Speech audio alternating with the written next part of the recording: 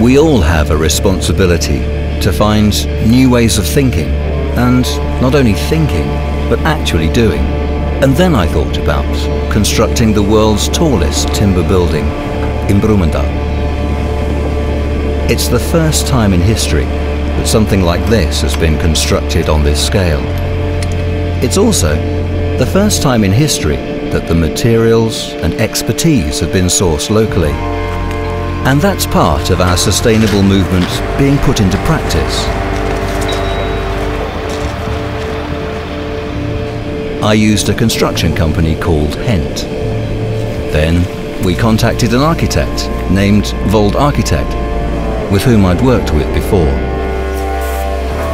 And we began to sketch out the project.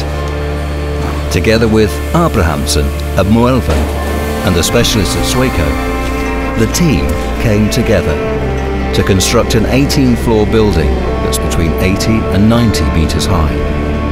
The result is the world's tallest timber building in Brumunddal. This required an unparalleled level of skill among those who calculate and construct. And it's the interaction and cooperation between all these remarkable forces that make this project possible.